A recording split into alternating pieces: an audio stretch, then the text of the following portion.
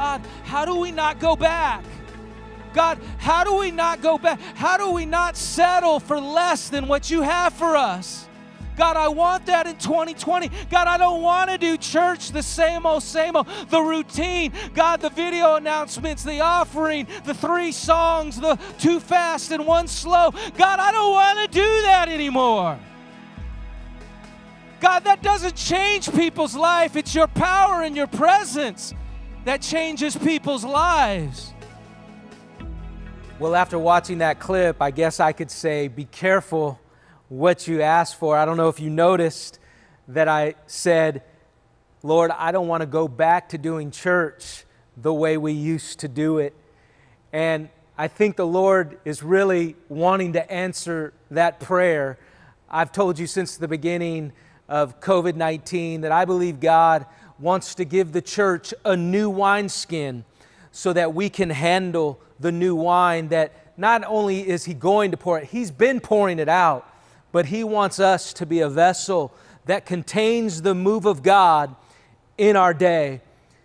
As I was on vacation, Amy and I, we took Josiah to Green Bay to help him set up shop. We got him settled in an apartment there in Green Bay, which uh, you may have heard by now that he has signed uh, with the Green Bay Packers on Friday. And so it is official. He is an official cheesehead.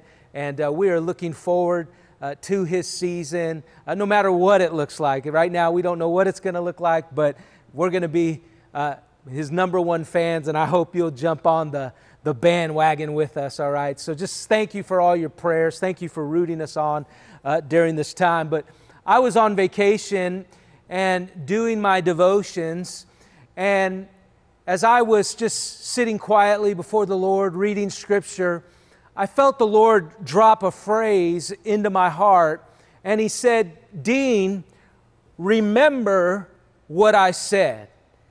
And I felt like He wanted me to come back and tell you, Real Life Church family, remember what he said. Deuteronomy 8 2, we're going to read a couple of passages of scripture before we get into the message. It says, And you shall remember that the Lord your God led you all the way these 40 years in the wilderness to humble you and to test you, to know what was in your heart, whether you would keep the commandments or not. So he humbled you allowed you to hunger, fed you with manna, which you did not know, nor did your fathers know, that he might make you know that man shall not live by bread alone, but man shall live by every word that proceeds out of the mouth of the Lord. And then 1 Timothy 1 18 to 19 says, Timothy, my son, here are my instructions for you based on the prophetic words spoken about you earlier, may they help you fight well in the Lord's battles. Cling to your faith in Christ and keep your conscience clear, for some people have deliberately violated their consciences. As a result, their faith has been shipwrecked. And I believe that God wants us to sail through this season and not be shipwrecked as the people of God. As I set the table this morning, I want to talk to you for a few minutes about prophetic leadership. As a young man, I remember being 18, 19 years old, just saved for a year, and I remember just my favorite place being in church was the very front row. I liked to get as close as I could, and I would listen intently to my pastor, John Paul Warren, who was preaching. I would hang on every word as he spoke. I remember my spirit just getting stirred. I remember taking notes, page after page after page. I really believe that I was receiving not just from a man, I was receiving a word from inspired by the Holy Spirit, a word directly from God. And I would sit on the edge of my chair just waiting to receive from the Lord. I believe that should be our expectation. 2 Timothy 3:16 and 17 says, "All scripture is God-breathed and is useful for teaching, rebuking, correcting, and training in righteousness, so that the servant of God, that's you and I, may be thoroughly equipped for every good work. So, prophetic leadership is what I'm talking about. And so, if we are preaching the scriptures, which are prophetic, because they're inspired by the breath of God, then God should be breathing through our preaching. Our preaching should be inspiring, not just inspirational, but Holy Spirit inspired. The church in Thessalonica had this expectation. Second Thessalonians 4 13 says, And we also thank God continually, because when you received the word of God, catch this, which you heard from us, you accepted it not as a human word, but as it actually is the Word of God, which is indeed at work in you who believe. You see, when you and I accept the Word of God as heaven's Word and not merely a human Word, it goes to work in you and it goes to work for you. Let me say that again. When you receive God's Word as a Word from heaven, listen, it goes to work in you and it goes to work for you. You see, heaven's Word comes with heaven's authority. Heaven's word comes with heaven's reality. Heaven's word comes with heaven's morality. And whenever we put his word into question, we question his authority. Whenever we put his word in question, we question his reality. Whenever we question his word, listen, we question his morality. And God wants us to give a, a heavenly word in this season. So if I'm preaching prophetically and you are receiving it as an inspired prophetic word, we should be living and leading prophetically as God's people. We should be living as a prophetic people who, like the sons of Issachar, understand and know the times. You see, I really do believe during these times the church should have the best solutions, the best ideas, the most significant breakthroughs. I believe that because the Word equips us to be efficient in this season and not deficient in this season. Let me give you the concept of prophetic leadership that the Lord has been teaching me, especially as I've been pastor here at Real Life. Prophetic leadership, my definition is inspiring others through the power of the Holy Spirit to live and lead according to what God is saying. And I felt like the Lord wanted you and I this morning to remember what He spoke to us at the beginning of 2020.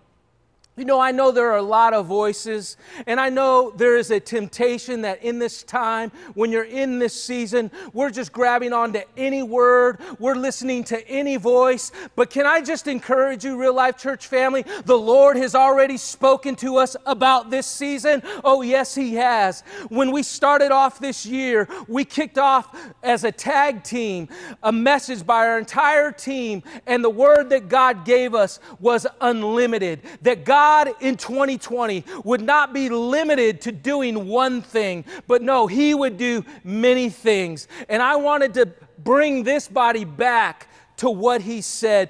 Real life church family, we need to remember. We don't need necessarily a new word. We don't need a new word to tickle our ears or to tell us what we want to hear. No, we need to go back to what God has already said about this season for our lives and for our church.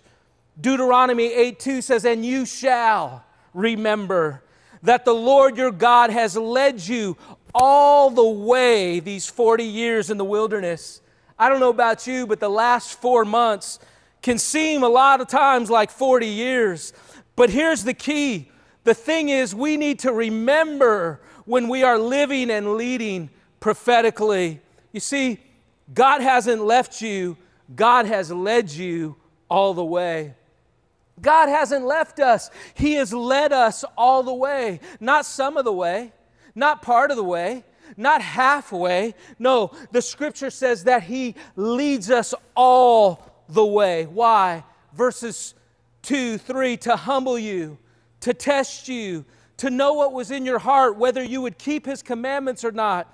So he humbled you, allowed you to hunger, and fed you with manna which you did not know, nor did your fathers know, that he might make you know that man shall not live by bread alone, but man lives by every word that proceeds from the mouth of the Lord. Really quick, I want to give you three things that will help you when God is leading you through difficulty. I don't know about you, but there, there are a lot of people I talk to that are having difficulty in this season. I want to give you three things real quickly from this passage that will help you. Number one, humility. Humility, listen, in this season means yielding to the Holy Spirit, saying yes to the Holy Spirit. And I want to just encourage you stop resisting and start resting. Start, stop resisting what he said and start resting in what he said. Secondly, a heart examination. Can I ask you this question? Is there anything in your heart that is preventing you from putting your complete trust in God's word and what he has spoken? Because listen, when we pass the test, we'll trust His Word. And then, third, a hunger. A hunger for us, for you to live out heaven's Word for your life. Again, every year we take January to lean into what the Holy Spirit is speaking to us as a body. And again, we kicked off uh, with a tag team message this year and again, real life church family, I just felt like the Lord wanted me to emphasize this. Remember what I said to you. And so, the first thing that actually God spoke through Pastor Michelle was remember, God said 2020 is going to be uncomfortable. But look, there are some things that we think that just because it makes us uncomfortable or we don't like doing it, that we're not called to do it. But in reality, those are the points in our life where God actually gets the most glory and the most praise from our life. There are promises from God that, in order to be fulfilled, require us to be uncomfortable. And then the Lord does these things where He's like, hey, Lord, like, I need to get you uncomfortable because there's things like I'm building you up. Like, th- this is not the place that He's building me to. He's still got more that He wants to build. And there's still things that He wants to build in you in 2020, but you need to be obedient and begin to get a little uncomfortable. I really, really believe that there's things that God wants to do in your life and through Real Life Church in 2020 that's going to require us to get uncomfortable. It's going to require us to step out of our comfort zone and what we think I'm not called to is really the thing that the Lord is calling you to because He wants to be glorified, not for you to receive the glory. Man, I thank God for a prophetic team. I'm surrounded by prophetic people. I can't help but be encouraged and strengthened as the lead pastor of this church, as you're going to be reminded of today. You know, I truly believe if we as a church will continue to embrace the uncomfortable, we will soon experience the uncommon. You see, we've experienced uncomfortable circumstances, no doubt, during this season. Both my kids, young adult kids, came home, and yes, it was a blessing, but it wasn't always comfortable, right? And then we've intentionally, uh, during our midweeks, had uncomfortable conversations. The entire body of Christ has been shaken out of its comfort zone. So, listen, this morning, let's make a decision never to go back to the comfort zone. Why? Because when we embrace the uncomfortable, it will lead us to our new normal. I was just this week got back in town and I met with Pastor Kyle Johnson of the Crossing Church, which is just a couple of blocks down the road. And we were just, uh, you know, matching stories, comparing our notes during the season, especially over the last uh, few weeks. And uh, everyone remembers uh, when, you know, things are changing all the time, but we were talking about not being able to sing. And they actually followed the guideline to the T. And one of the things that he said really, really spoke to me. He said, You know what? He said, There are so many words for praise. And he said in Hebrew, and only a few of them have to do with singing. And I began to think about that. You know, if you can't sing, does that mean you can't worship? Not at all. It means you can dance.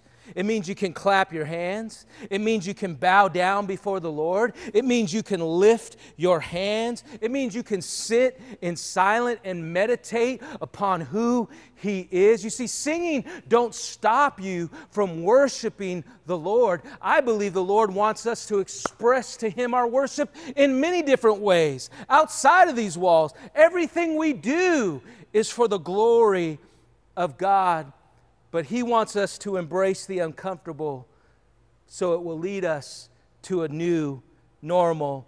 Secondly, remember we will have to choose joy in 2020. Pastor Isaiah reminded us of how to choose joy.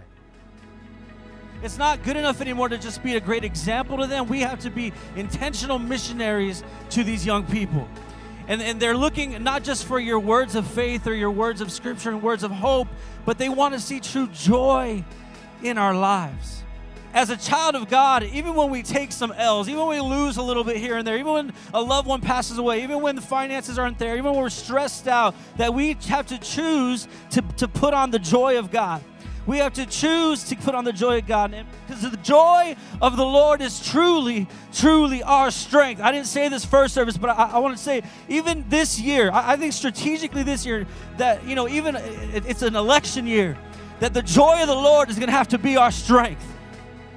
I'm sure most of us have heard that happiness depends on our external circumstances and it's temporary, but true joy is eternal and cannot be taken away. You know, that's something that's really easy to say, but really difficult to live out. And after listening to Pastor Isaiah talk about joy, the Holy Spirit highlighted to me the word intentional when he was sharing. The word intentional means to do something the way it was designed to be done. I believe God is asking us to be intentional about our joy on this current journey we are on. Because there's a lot of uncertainty, there's a lot of unknown. But listen, we serve a God, listen, who's not confused about the future. He is certain about our future. And joy is a fruit of the Spirit. Galatians 5, you can read and study there. In other words, when I choose to walk in the Spirit, because we have a choice in this season to bear fruit or be in the flesh. But when I choose to walk in the Spirit, my life is going to produce fruit. In fact, Galatians 5 says it's not only going to produce joy, it's going to produce love, it's going to produce peace, it's going to produce patience, kindness, goodness, faithfulness, gentleness, and self control. You see, I'm not talking about happy because the DeGuara family has had plenty of happy moments during this COVID 19, which has tried to put a damper on things, which I'm sure it's tried to put a damper on your life as well. But when I'm intentional about choosing to walk in the Spirit, not according to my flesh, not according to how I feel, listen, not only do I get to experience the fruit of the Spirit, the people around me actually get to taste what the kingdom of God is all about. And let me ask you this, church what taste are you leaving in people's mouth? Is the joy in your life contagious, or is the junk in your life contaminating the folks around you? The third thing that the Lord wanted me to remind you of today Pastor Brandon spoke, it was this remember the heavy rain is coming in 2020. I'm just believing God for big and great things in 2020. Uh, and the word that the Lord uh, kind of dropped into my heart is the sound of rain. This is what I believe that now in 2020, as we worship, God says, I'm going to upgrade your cloud to a heavy rain. Listen, listen, I'm sending the rain to change everything. But those who really love the rain are those who understand the purpose of rain. And the rain comes to water. And those of us that have been sowing seed, this is the season because God says, I'm exposing the fruit that's in the ground. Anybody know what I'm talking about? That doesn't mean I'm going to wash it away. What that means is, as the water flows, you're going to see things growing. And all of the tears that you sowed, Pastor Isaiah said, I'm going to raise you up some joy for your tears. Uh, all the things that you are worried about, I'm exchanging your worry for confidence. I'm exchanging your lack for plenty. Anybody know what I'm talking about? That's what rain comes to do. See, the rain of God is the presence of God. Oh my goodness. And if you begin to worship, I believe in 2020 that the presence of God is going to reign in this place. You're not going to be able to walk in and things be the same. Listen, wait, wait.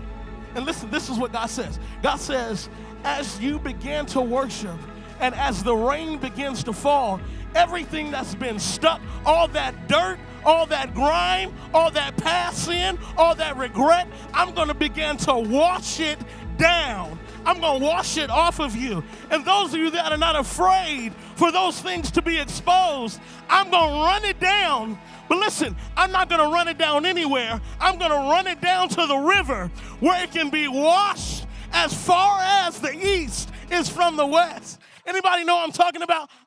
I think a key of what God is asking us to remember is this as you begin to worship. Let me say that again. As you begin to worship, you know, I believe some of us are still waiting to worship. We're waiting to worship at church again. We're waiting to get our praise on once the doors open again. We're still waiting for things to get back to the way they were. We're still waiting for the songs we like. We're still waiting not to have to wear masks. And I believe God has clearly spoken to us as you begin to worship. Listen, as you begin to worship, I'm going to wash you. I'm going to wash over you with my love. I'm going to wash over you with my hope. I'm going to wash over you with faith as you begin to worship. Not wait on worship, but as you begin to worship. The last couple of weeks, I don't know if you've been able to tune in to our midweek conversations, but Pastor Damien, Pastor Brandon, and Crystal Stallworth Little, they've been talking and teaching us about the importance of engaging in personal worship during the season. You see, we've been conditioned to allow others to worship for us. But God said, as you begin to worship. In fact, right now in your living room, wherever you're watching, listen, I just want you to lift your hands and just yield to the Holy Spirit right in this moment. Listen, maybe you've been resisting, maybe you've been waiting, but right now you would just lift your hands and you would just begin to worship and allow the Holy Spirit to wash over you, allow the Holy Spirit to renew you, allow the Holy Spirit to restore you in this season. Stop resisting, as I mentioned earlier and start resting in who He is as you begin. Listen, not as your wife begins. No man of God, as you begin to worship, I'm going to reveal to you who I am. You see, you can be disappointed by the rain and allow it to wash you out, or you can allow the rain of His presence to wash over you.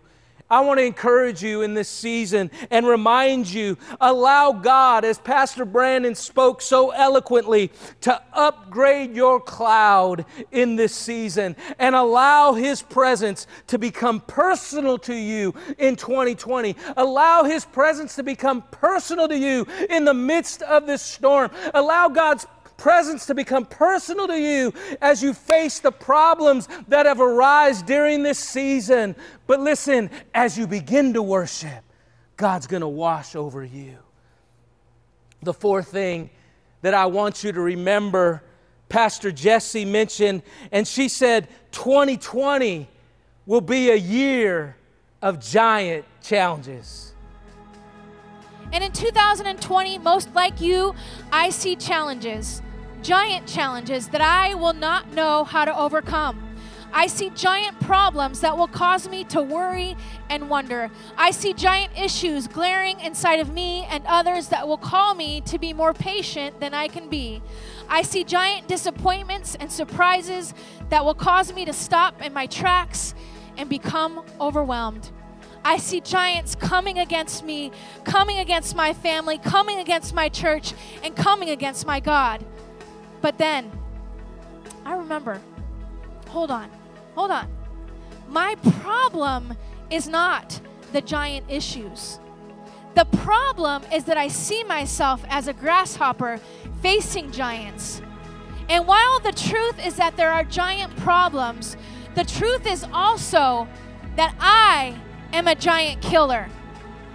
If we are to be giant killers, then we have got to have 2020 perception. See, 2020 vision will only give you an accurate picture of what's in front of you, but 2020 perception will help you see past the facts and go beyond the impossible. We must perceive ourselves as giant killers and then train like ones. We've got to be soaking in the word so that wisdom becomes part of our nature. We've got to activate the Spirit of God in us through prayer and earthly and heavenly language so that we are full of His power and might. We've got to be uh, speaking and standing on our testimonies so that God's provision becomes an expectation of our future and not boiled down to a wish list of resolutions.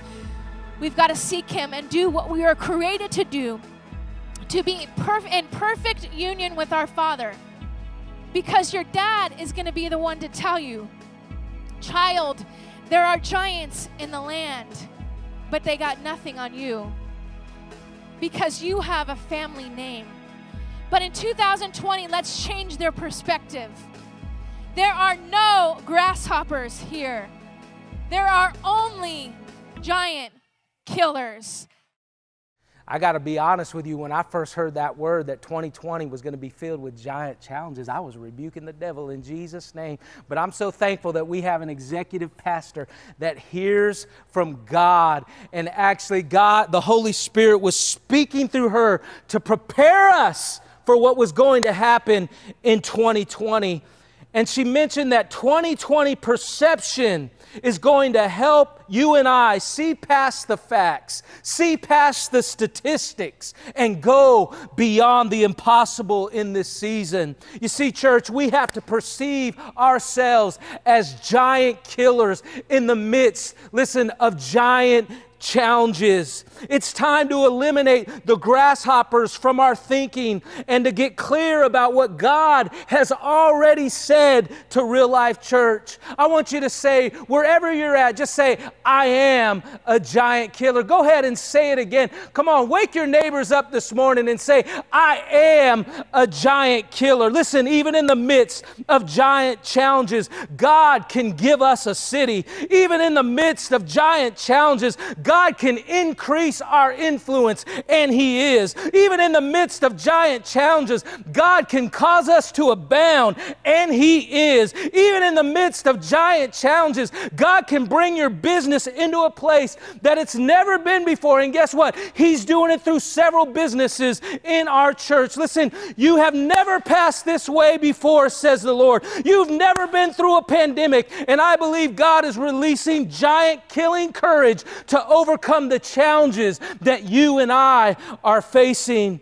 You see, God has already spoken over us that the holy boldness is coming to real life church that God is going to put a holy boldness on this house, and there is courage coming to say that we can believe God for anything. There is courage coming that will reach people nobody else is reaching. There is a courage coming that will allow us to do things that have never been done before.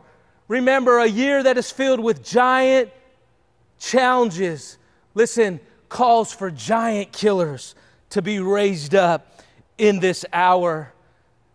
Fifthly, I want to remind you about what Pastor Damien spoke. He said that in 2020, the Lord wants to enlarge your territory. Out of First Chronicles chapter 4 verse 10, it says, "And Jabez called on God of Israel." Aren't you so glad that when you call on God, he answers? And Jabez called on the God of Israel, saying, Oh, that you would bless me indeed and enlarge my territory, that your hand will be with me, and that you would keep me from evil, that I may not cause pain. Here's the part that I want us to lean in. So God granted him his request. I believe in 2020, if you are so courageous to ask God to enlarge your territory, I believe in 2020, the Lord wants to enlarge your territory. Amen. I feel this is a word for somebody. If you would surrender the relationship, if you would surrender the dream, if you would surrender the word or the vision to the word of God and make sure it lines up. And if that dream, that hope, that relationship, that endeavor lines with the word of the God, then guess what? God will grant your request and your territory will be enlarged. God does not want to give us a refurbished 2019 into 2020. God doesn't want to give you a recycled year going into the next year. God doesn't want to give you recycled uh, uh, promises. No, there were some things that were in 2019 that He's promised you, and there's some new things that He's going to promise you in 2020. And guess what? You might have missed some opportunities opportunities to see God manifest something in 2019. But the God I serve, if you mess up Plan A and you mess up Plan B, He can still make Plan C better than Plan A, better than Plan B. Stop investing into dead things. It's time to let go. God cannot pour new wine in old wineskin. So, in order for the Lord to do new things, in order for the Lord to do a fresh thing, in order for the Lord to enlarge your territory, you're going to have to let go of some things. You see, I love how all this is flowing together because challenges and problems set us up for expansion. Even when things are on the decrease all around you. Listen, God's people, He's setting His people up for increase. I've said it this way that God expands the heart before He expands the house. I'd encourage you to watch this entire message from beginning to end, from Michelle to me wrapping it up at the end. But listen, I want to just reiterate what Pastor Damien was talking about was not just limited to geographical and physical locations. Because the most important territory God could expand for you and I during this time is the spiritual territory of our heart. You see, there are a lot of issues in our society right now. But listen, they all stem from one place the issues of the heart. You don't believe me? Mark 7, verses 21 to 23. Evil originates from inside a person. Coming out of a human heart are evil schemes, sexual immorality, theft, murder, adultery, greed, wickedness, treachery, debauchery, jealousy, slander, arrogance, and recklessness. All these things, corrupt things, emerge from within and constantly pollute a person Listen, this is what I want to encourage you with as God wants to expand the territory, the spiritual territory in your heart. Listen, He wants dominion, He wants to be Lord of your life. Don't ignore the issues that are surfacing in your heart. Don't ignore the issues that are inside of you. Allow the Holy Spirit to expand your heart beyond the issues that are being exposed so you can receive the expansion that the promises of God want to bring to your life. You see, many of us want expansion without exposure. Many of us, listen, we want expansion without exposure. What do I mean by that?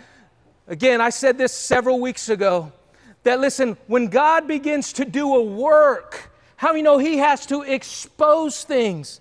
Listen, light, come on, invades darkness. And when He does, listen, we've got to submit to those things. We can't resist the light, we can't resist the truth. No, we have to yield to it. And we have to say, God, these issues, have surfaced in my life, and I need you to deal with them, God, because I want to expand beyond where I'm at. I don't want to be limited. I don't want to be stuck and, and in the same place next year than I am right now. No, God, I want you to deal with those issues. I don't want to ignore them. Holy Spirit, you've revealed it. Holy Spirit, you've exposed it. And now I'm asking you to excavate those things out of the deep darkness of my heart and help me to expand the borders of my spiritual life. He wants to do that for you, church. He really does. That's His heart. And maybe because you've been close up with a lot of people, you've been quarantined with the same folks for about four months now. Listen, maybe things have surfaced. Listen, don't suppress those things. Allow God to deal with those things and get healthy. Get your spiritual life in order. Get on track. Listen, don't wait for the church doors to open again. Allow God to rend your heart right now and begin to heal you and make you whole. Let Him deal with the issues that are surfacing in your heart. And then, lastly, I want to remind you to remember that 2020 will be a year of protecting the unity of this house. But I just felt like the Lord wanted us as a whole to take on this assignment, and it is this protect the unity of the house. Behold, how good and how pleasant it is for brothers and sisters to dwell together in unity. Everybody say unity. It is like the precious oil upon the head running down on the beard, the beard of Aaron running down on the edge of his garments. It is like the dew of Hermon descending upon the mountains of Zion. For there, everybody say there, the Lord commanded the blessing, life forever more. Listen, this is what I want to just say over you with this exhortation protect the unity of the house. Listen, where there is unity, there is oil. Where there is oil, there is a commanded blessing of life. And where there is unity, there is a constant flow of kingdom life. And listen, if we want to see more of the kingdom and we want to be, listen, we want to be dialed into the things of the Spirit, how many know we've got to be willing to put to death our flesh?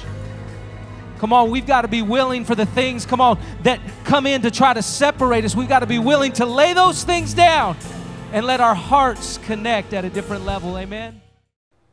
I'm not going to take time to quote the verse because we quote it all the time around the subject of unity. But Psalm 133 says unity is like precious oil. Precious oil in biblical times was expensive. In other words, it came at a great cost. Uh, you know this because when Mary Magdalene broke the alabaster jar and anointed Jesus, the disciples were upset because that oil was so expensive.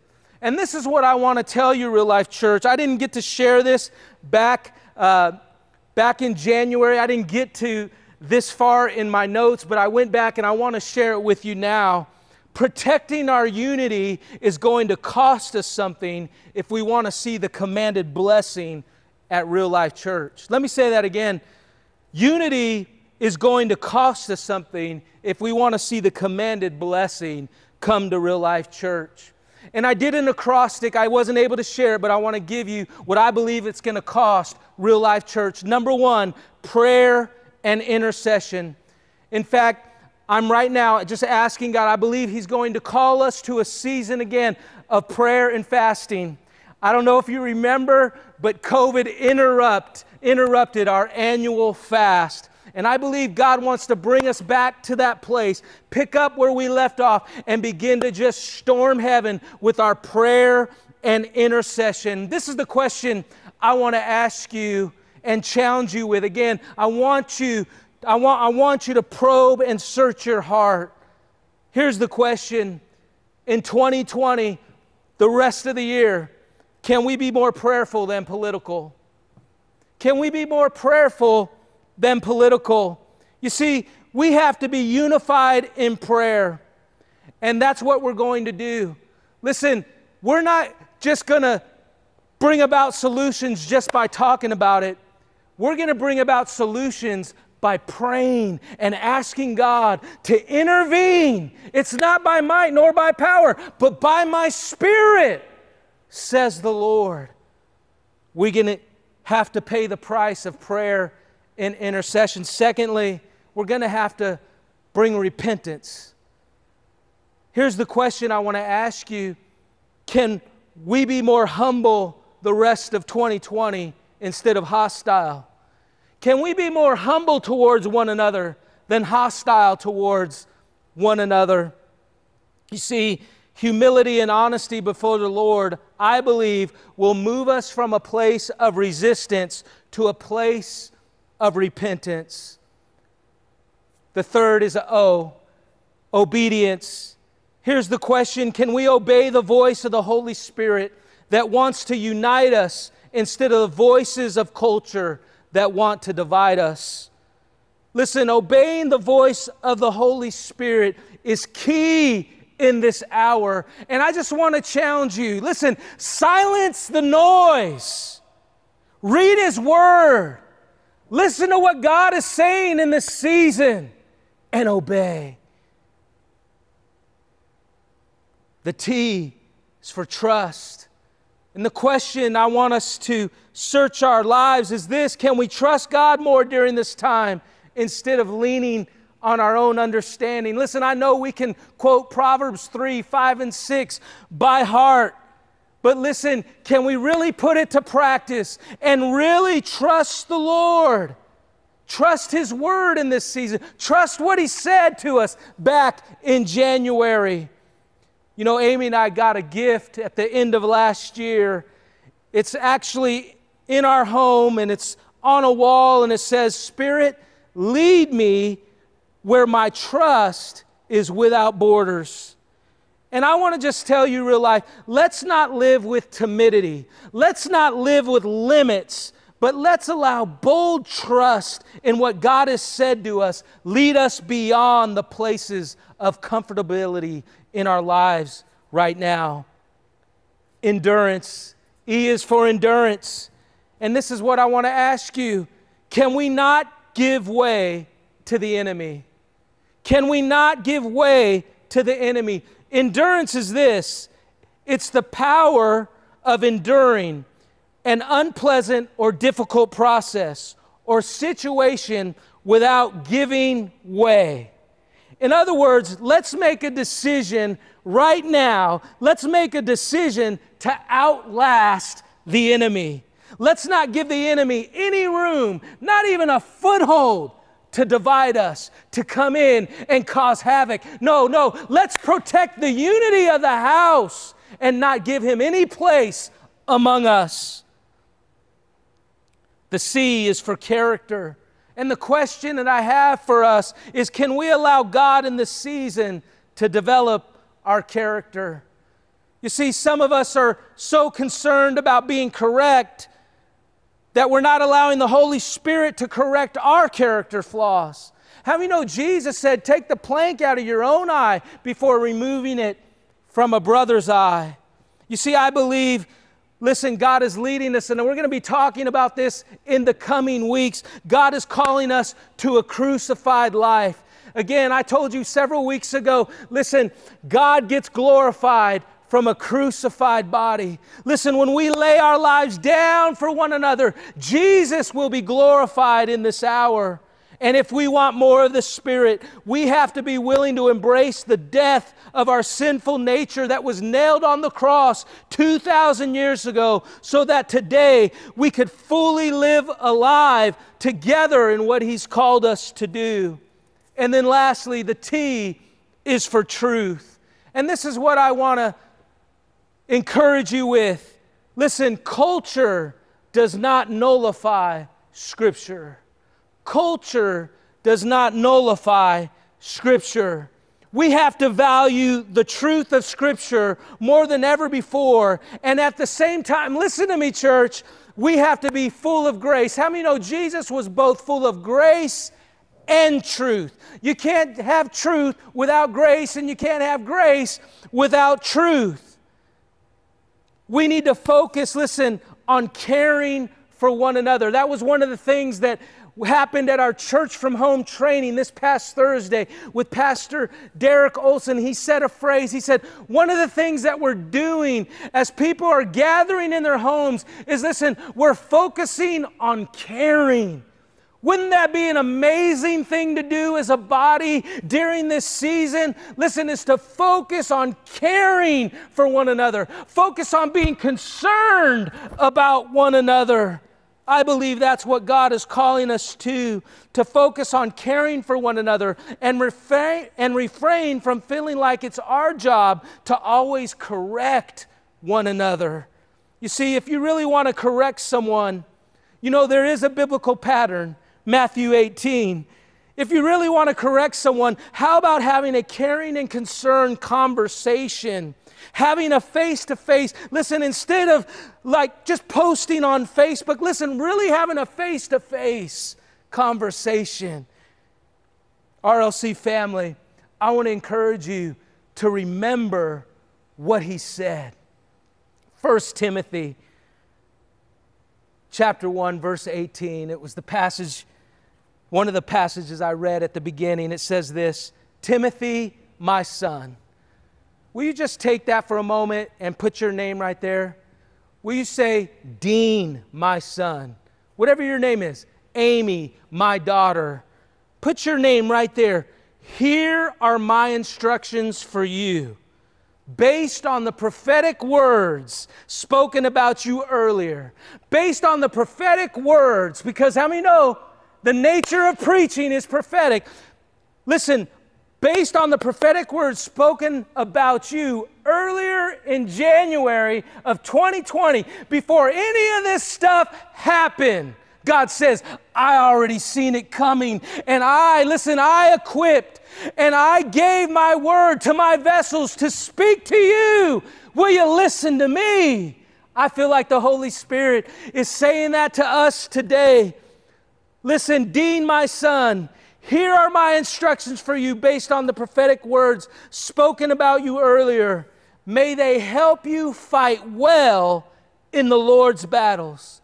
You see, that 2020 is going to be uncomfortable that we will have to choose joy in 2020, that the heavy rain is coming in 2020, that 2020 will be a year of giant challenges, that in 2020 the Lord wants to enlarge your territory.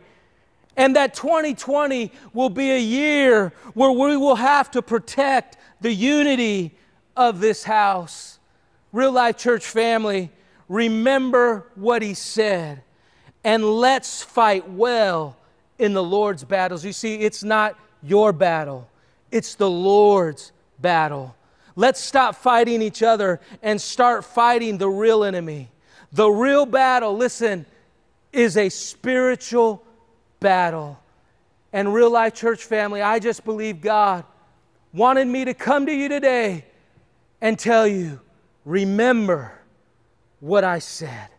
Remember what I told you about this season back in January. Will you fight well? My battle, not your battle, my battle.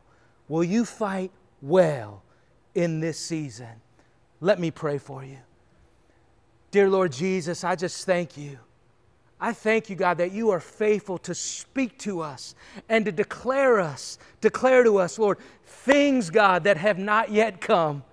And God, I thank you, God, for a prophetic people. I thank you for a prophetic staff, a prophetic team, God, that's, that you use to speak to your church.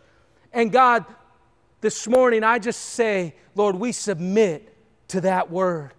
God, we submit, God, to be uncomfortable. God, we submit to choose joy. God, we submit to be expectant for the heavy rain that is coming. God, we submit, God, to expect and not be surprised by giant challenges. God, we expect you to expand the territory. And God, we expect and know what you are expecting of us to protect the unity of this house. Holy Spirit, we yield and submit to your word. Listen, I just feel like before I go today, listen, that there is somebody, listen, you've been resisting in this season, you've been waiting, and the Lord is asking for your surrender. He's asking for your surrender. And listen, I don't know who you are. I don't know how many of you there are, but listen, right now, just wherever you're at, you just lift your hands and you just symbolically as saying, God, I surrender and I submit myself to your word. Become Lord of my life. Jesus, take over. Jesus, take the wheel. Jesus, take the lead of my life. God, and I will follow you for the rest of my days. In Jesus' name. Amen. Church, I love you. Thank you for staying engaged in this season. And let's fight well for the duration of 2020.